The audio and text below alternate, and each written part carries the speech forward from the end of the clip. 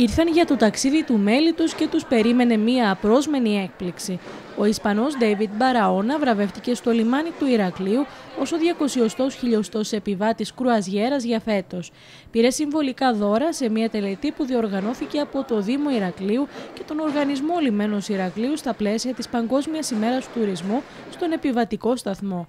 Δεν μπορούσε να κρύψει τη χαρά του. Είναι η πρώτη φορά που του συμβαίνει κάτι τέτοιο. Ε, είχε λίγα νεύρα ήταν, και, και δεν ήξερε τι να περιμένει.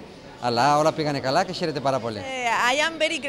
Είμαι πολύ χαρούμενη που είμαι σε αυτή την πόλη της Κρήτης. Διαλέξαμε αυτό το ταξίδι με τον άντρα μου για να γιορτάσουμε το γάμο μας. Είναι το γαμήλιο ταξίδι μας και ο σύζυγός μου είναι ο τυχερός νικητής. Οπότε είμαστε ευγνώμονες. Σας ευχαριστούμε όλους. Ε, βρίσκονται σε ταξίδι του μέλητος. Ε, είναι συνειδητή επιλογή Ελλάδα. Τους αρέσει πάρα πολύ η Ελλάδα, η Κρήτη, η ιστορία. Είναι η δεύτερη φορά που βρίσκονται στην χώρα μας και θα ξανάρθει σίγουρα. Ε, ευελπιστούμε μέχρι τέλος του χρόνου, αν όλα πάνε όπως είναι προγραμματισμένα, να αγγίξουμε τις 300.000. Ε, και τα μηνύματα για, τον, ε, για την επόμενη χρονιά είναι επίσης καλά.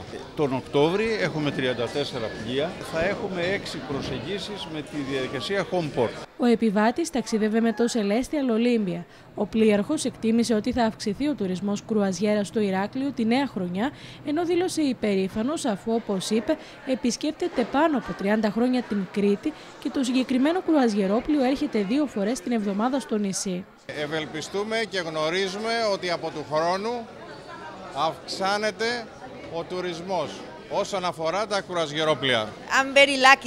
Είμαι πολύ τυχερή που είμαι στην Ελλάδα. Είναι η δεύτερη φορά που επισκέπτομαι τη χώρα σας. Μετά θα πάμε στη Σαντορίνη, αλλά υποσχόμαστε ότι θα επιστρέψουμε στην Κρήτη. Είναι ένας πολύ υψηλός στόχος που είχαμε θέσει από την αρχή από κοινού τον Οργανισμό Λιμένος Ηρακλείου και δείχνει το πολύ υψηλό επίπεδο ε, προσφερόμενων υπηρεσιών ε, στο κομμάτι της κουραζιέρας. Και στο αεροδρόμιο Ηρακλείου Νίκος Καζαντζάκης, ο επιβάτης νούμερο 3 εκατομμύρια για το 2018, βραβεύτηκε σε μια συμβολική τελετή.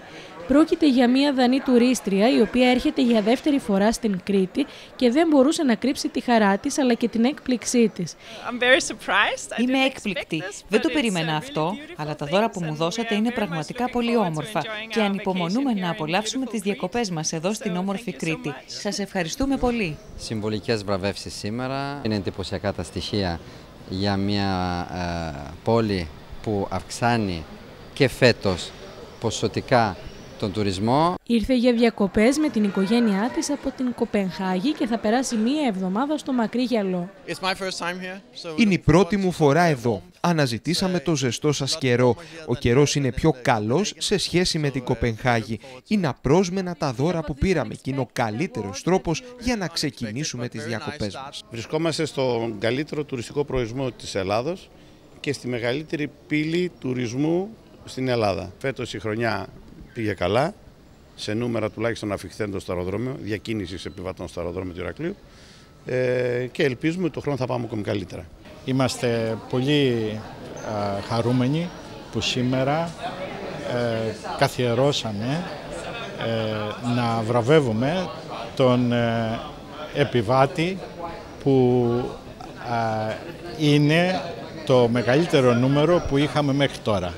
Η φετινή τουριστική αριθμή είναι αρκετά αυξημένη σε σχέση με τα προηγούμενα χρόνια. Ο τουρισμός στο νησί μας καταγράφει εντυπωσιακή άνοδο, ενώ η Ελλάδα και η Κρήτη αποτελούν σημαντικό παίχτη στην παγκόσμια τουριστική σκακέρα.